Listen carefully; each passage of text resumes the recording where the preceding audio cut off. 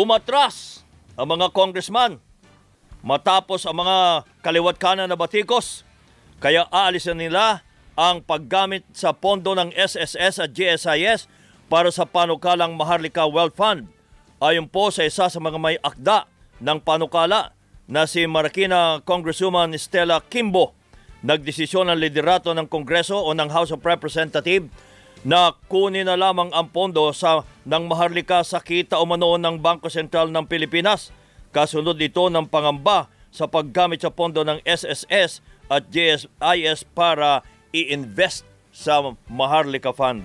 Maganda na nagsagawa tayo ng series of consultations ukol sa panukala na validate ang mga agam-agam ng ating mga kababayan, lalo na ang masisipag na manggagawang Pilipino na buwan-buwang naghuhulog ng GSIS at SSS contributions. As we tackle the bill, we will put in place safety nets that will be the success of this project. Miss ring, ah, hindi, kumambyo na talaga.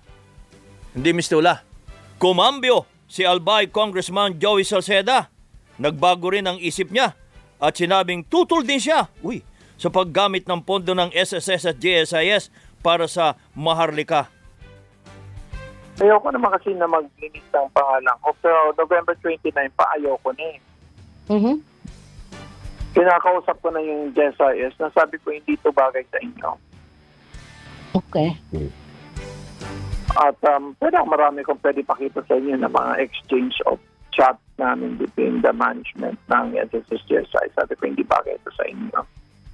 Hindi ito Hmm. para Ah, sa ibig inyo, sabihin- para po sa land bank. Ibig- Ngayon na tapos na lahat at nagkapag-row na ng desisyon, pwede ko Mm. masabi na talaga noon pa kontra na ako. Nauna nang pinahayag ng mga mambab- ng ah, mga mambatas, mambabatas na kukunin ng 275 billion pesos na pondo ng Maharlika sa GSIS, SSS, Land Bank, Development Bank of the Philippines at iba pang government financial institution. Ginit naman ni ACT Teachers Party List Representative Franz Castro na kahit in, inamendahan ang panukala, dapat pa rin magbantay ang taong bayan. Kasi ang pondo na makukuha pa rin dyan ay gagal- manggagaling sa land bank at saka yung sa ah, maaring doon sa sinasabi nating ano no yung government ap- um, general appropriation. Kaya talagang titignan pa rin natin kasi yung mga exemptions pa rin ah, nandiyan pa rin naman. Kaya titignan natin yung magiging final version ng bill ng ah, nila dito sa Maharlika Wealth Fund. Nanawagan naman ng ilang ekonomista at dating opisyal ng pamahalaan na ibasura na lamang ang Maharlika.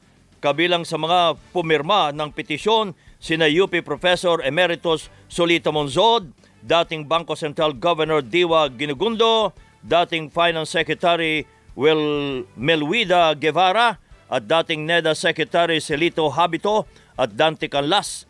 Hinimok naman ng Philippine Chamber of Commerce and Industry o PCCI ang pamahalaan na irekonsidera ang panukalang Maharlika Wealth Fund.